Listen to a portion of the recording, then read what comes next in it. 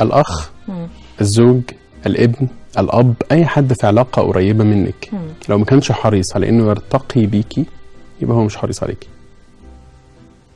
استمرارك في علاقة كاذبة تحت مسمى صلة الرحم. واستماتك في الدفاع عن شخص هو ما فكرش ولا مرة إن هو يدافع عنك وتحملك شخص ما فكرش ابدا إن هو ينجيكي من أنت بتتحمليه كلها حاجات هتثبت لك في وقت من الأوقات إن قليل من الأنانية مفيد لحياتك الشخصية. وتقول لك أنا دايما بتخدع في أصدقائي. أنا حاسة إن أنا كده أصدقائي قليلين. من الحكمة النفسية البالغة إن عدد الصداقة عدد الأصدقاء ما يكونش معيار لقبولي أو عدم قبولي عند الناس. طبعا طبعا. وأكبر دليل على ده إن الأسود بتمشي منفردة والخراف بتمشي في قطيع. دايما الأسد يكون ماشي معاه اتنين تلاتة وبس. الخرفان بيمشوا في قطيع كبير. لما حد يحركهم بعصاية مفيش واحد منهم يقف جنب التاني.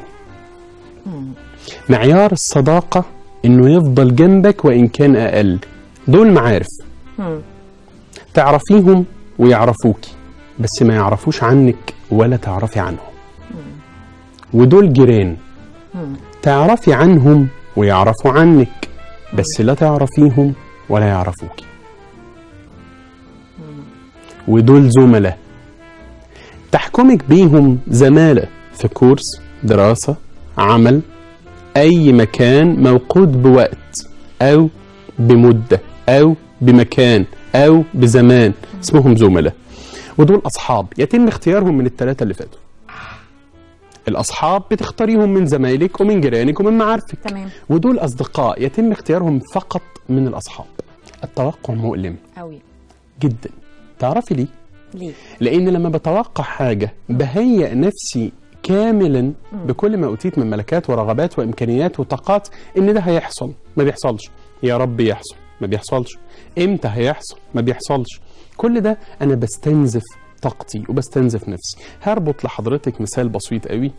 الاستمرار آه، في علاقة أو في أسرة أو آه، في حياة أو ما بين مجموعة من الأصدقاء أو في بيئة عمل.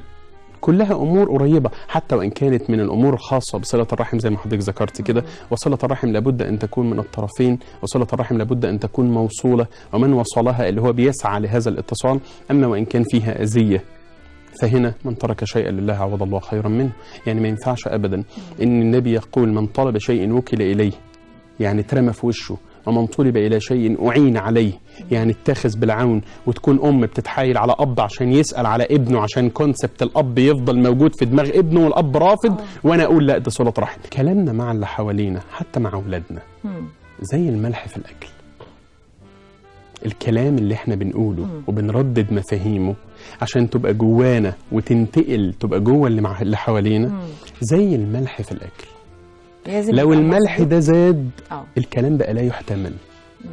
ولو ما بقاش موجود ما ينفعش إن أنا استصيغه. كذلك الاهتمام. اهتمامنا باللي حوالينا من أهم ملكاتنا الشخصية ولازم نتقي الله فيها. هقول لحضرتك تجربة بسيطة جدا. اناء موجود فيه مية وحطوا فيه ضفدع ودي تجربة اتعملت في أحد الجامعات أظن كانت هارفرد أو غيرها. وصلوا درجة المية بالتدريج إن سخونتها تبدأ تزيد. درجة حرارة المية تعلى.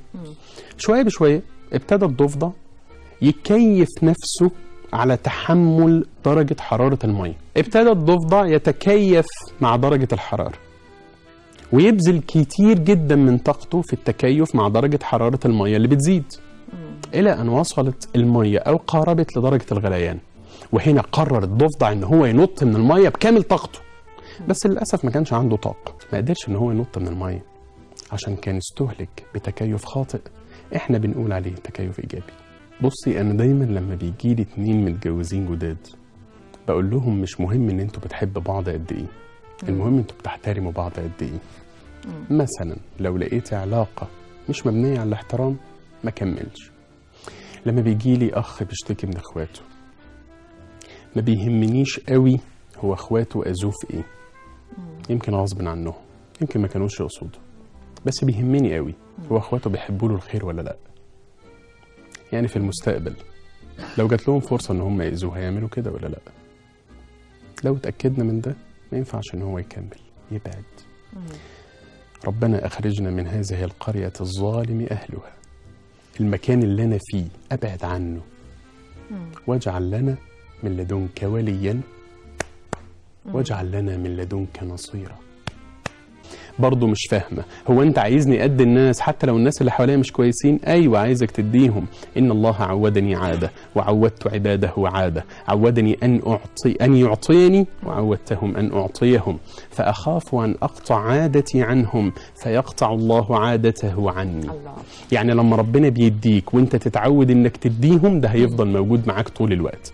المسألة هنا محكومة بأن حياتك ممكن يكون فيها قدر من العطاء. وعلى قدر من العطاء أنت ربنا بيحطك في هذه القيمة. ويقول إمامنا ابن عطاء السكندري إذا أردت أن تعرف عند الله مقامك فانظر فيما أقامك. لو ربنا أقامك في نفع الناس يبقى أنت من خير الناس عند رب الناس. وإحنا مهمتنا كمعالجين نفسيين نشر الوعي النفسي ما بين الناس عشان نسبة الخير تزيد عن نسبة الشر جوانا. وبالتالي نقدر نصدر اللي حوالينا الإيجابية اللي إحنا مستنيينها منهم. ببساطة شديدة أنا مش عايز الناس تتحمل من اللي حواليهم إن هم يمروا بمآسي أكتر من الصعب جدا نفسيا. الاستمرار في علاقة تضفي عليك مزيد من السلبيات أو الاستماتة في الدفاع عن من لا يدافع عنك أو تقدير من لا يقدرك. حب النفس مش معناه الأنانية حب النفس معناه احترامي لذاتي وبالتالي أنا لازم أولي هذا الاحترام ليا قبل ما انتظره من الآخرين. بس أنا عايز ألفت نظر الناس لحاجة. صدقيني كل واحد بيلعب على تكت الإيجابية جواه. وبيحاول هو نفسه يبقى إيجابي وهو نفسه يبقى خير. بتبقى صدماته في الناس أقل وبيبقى تعرضه للوهم أقل. ليه؟ لأن هو نفسه مش بيعيش في الوهم لا في أحلامه ولا في طموحاته ولا في افتراضاته. بيكون واقعي واقعي حتى في إنه يعمل مع الناس الخير واقعي في إنه يقرب للناس الخير فربنا يديله خير واقعي في إنه هو يتعامل مع الناس بالخيرية اللي هو مستنيه من أحلامك مش اللي حضرتك بتشوفيه في منامك. أحلامك اللي بتسعي لتحقيقه في يقظتك أحلامك هي اللي أنت بتحاولي تحققيه فعلا. اللي بتوصلي له من ماديات اللي بتوصلي له من نجاحات اللي بتوصلي له من أمور ملموسة. الحلم مش منام الحلم هدف بس هدف كبير. وعلى قد حلمك على قد ما هتكون في الدنيا.